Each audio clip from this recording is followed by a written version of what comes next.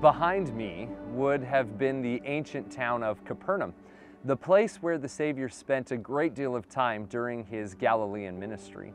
Now, one may suppose that such frequent visits by the Son of God would have resulted in the individuals of that town being more convinced of his divine sonship.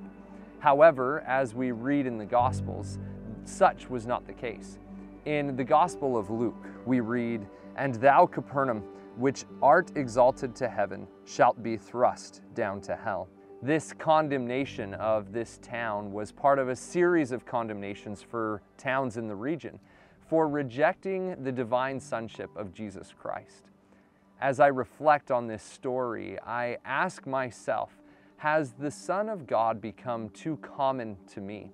Have I become casual in building my relationship with Him?